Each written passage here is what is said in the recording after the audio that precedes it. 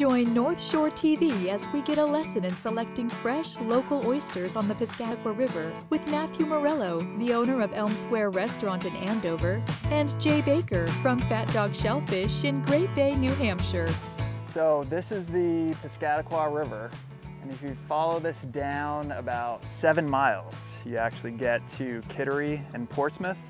So it's a long way. So this bay is really unique in that it's far from the ocean, and if you look this way, it opens up into this huge, you know, well, relatively large, calm bay. There's just been this renaissance, as Tom would call it, of oyster farming in New Hampshire, and we're happy to be a part of that.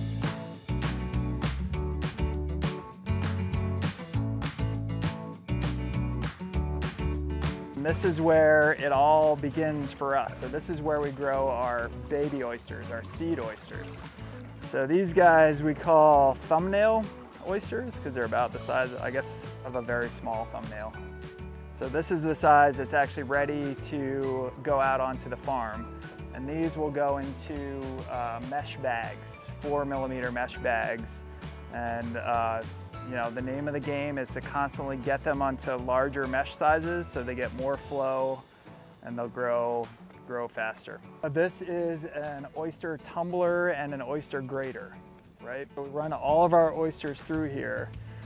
Anything that comes out in the end goes onto our yellow market line. And those are the oysters that we're probably gonna sell this year.